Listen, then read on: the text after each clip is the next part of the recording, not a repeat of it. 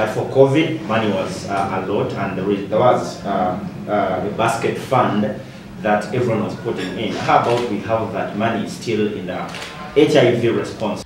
While addressing the media in Kampala, civil society organizations advocating for the fight against HIV AIDS under their umbrella body, Uganda Network of AIDS Service Organizations say the mobilization for COVID-19 resources was very effective coupled with the dissemination of information and investment in research. Dr. Ben Chibirige from Foundation for Male Engagement urges that if this is done, the fight against HIV AIDS will be as effective as it has been the case with COVID-19. People should know very well that as we've been singing the SOPs, sanitize, you know, wash your hands, use a hand-based sanitizer and alcohol-based sanitizer and all that, it should be the same thing that should translate into the HIV, you know, uh, response such that we can have very many people engaged in this and will achieve good outcomes.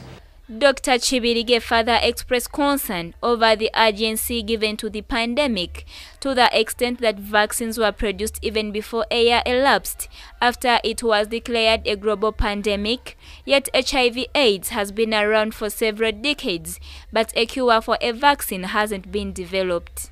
That please can you not make it hard for us to receive vaccines? Can you avail? We have the little resources. Can you avail us the vaccines? And uh, very many, you know, countries globally and uh, regionally and everywhere have been, you know, committing Meanwhile, Dr. Shaban Mugera, a principal medical officer from the Ministry of Health and volunteer with the Ministry of Health surveillance team, has revealed that government has planned to take COVID-19 vaccines nearer to people, especially the elderly and physically handicapped who cannot move to vaccination centers. With the help of village healthy teams, vaccines will be taken to homes of these people.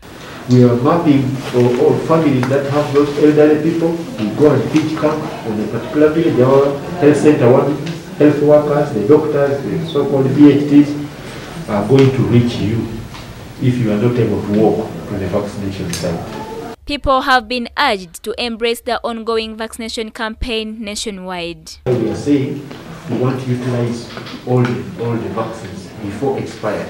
We don't want to suffer because these vaccines, as I said, are costly. And uh, we would have utilized this money to do other things, to fix our roads. We are suffering in potholes and other things. But, but we are saying life first.